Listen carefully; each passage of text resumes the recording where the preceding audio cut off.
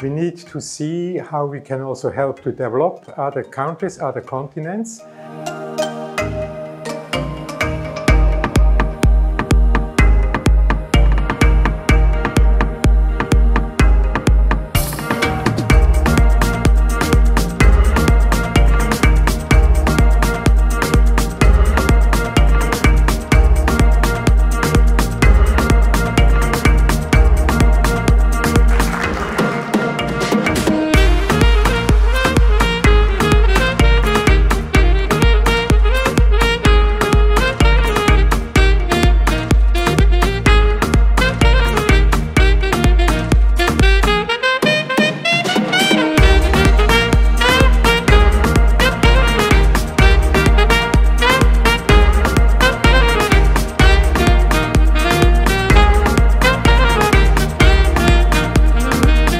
Morocco and particularly to Rabat has reinforced how important it is for FISU to have a presence in every continent, in every country.